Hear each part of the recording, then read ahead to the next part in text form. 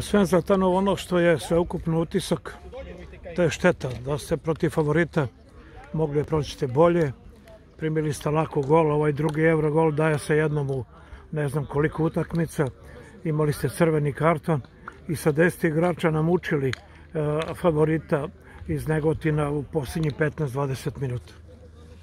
Pa tako je, videli ste sami, znači teška utakmica, znali smo s kim igramo, znali smo kakav je protivnik, spremali smo se cele nedelje, dogovarali se nešto, međutim primili smo, u prvom polovremenu smo bili sigurno bolji, stvarali šanse, onda smo primili neki, meni još ne mogu ni da shvatim kako smo gol primili, kao kao neki pioniri, znači početnici. Početnici, tako je. Posle toga dogovorili se polovremenu kako da nastavimo, ono nije ništa izgubljeno još celo polovreme, onda smo primili taj Everbol koji nas je koji nas je uh, kako da kažem još više još više demoralisao.